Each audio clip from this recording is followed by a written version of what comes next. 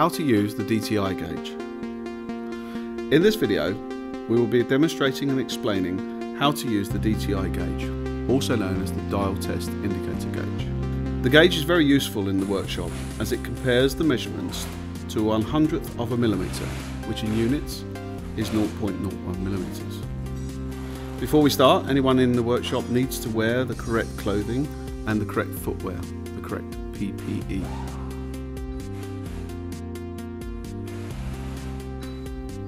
So once the car is up in the air and the wheel is off, uh, in this example of measuring brake disc run out,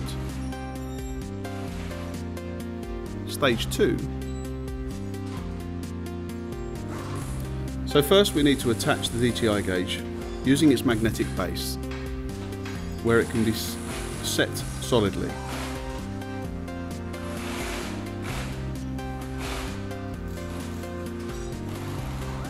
Stage 3.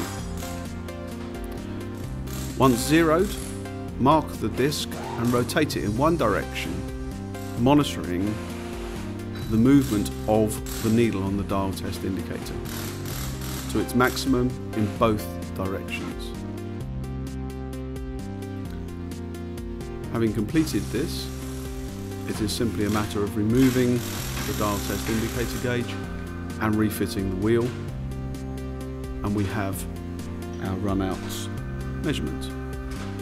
The DTI gauge may be used to measure the runout on the brake discs or it may be used on crankshafts or any other moving component where its end float movement backwards and forwards must be limited.